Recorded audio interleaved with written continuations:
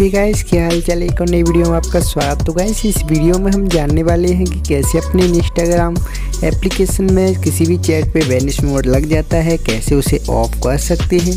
तो आप यहाँ पर देख सकते हैं, मेरे सामने एक कॉन्टैक्ट निकल के आता है। इन भाई के में मेरे में वैनिश मोड लग चुका है।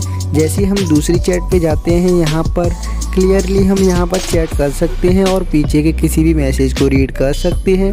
लेकिन इन भाई के में हम जैसे चैट को ओपन करते हैं, यहाँ पर हमको शो होता है वैनिश मोड कैसे इसे ऑफ़ कर सकते हैं आप इजीली इस वीडियो में हम इस चीज़ को जानने वाले इसलिए वीडियो लास्ट तक ज़रूर सीखना इस चैनल पर नए चैनल को सब्सक्राइब कर लेना, क्योंकि आपके टेस्ट रिलेटेड प्रॉब्लम देखने को मिलता है। इसलिए चैनल को सब्सक्राइब करना ना भूलें। बिना डीले के वीडियो स्टार्ट करते हैं। मेरा नाम है सचिन, आप देख रहे हैं टेक्निकल टीम। तो दोस्तों, आपको इसे ऑफ़ करने के लिए आपको ऐसा चैट देख लेना होगा अपने डिवाइस में। अपने इंस्टाग्राम एप्लीकेशन पे ऐसा चैट को सर्च कर लेना होगा, जिसमें वेनिश मोड लगा होगा, जैसे कि मेरे इन भाई के में लगा हुआ है।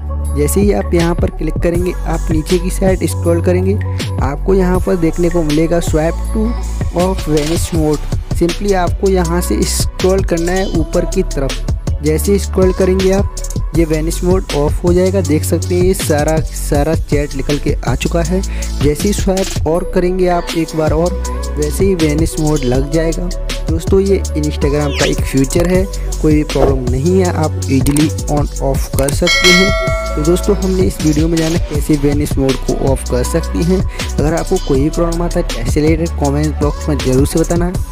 इसे आप नए चैनल को सब्सक्राइब कर लेना, क्योंकि आपके प्रॉब्लम का सोल्यूशन देखने को मिलता है। इसलिए चैनल को सब्सक्राइब करना ना भूलें। Thank you so much watching this video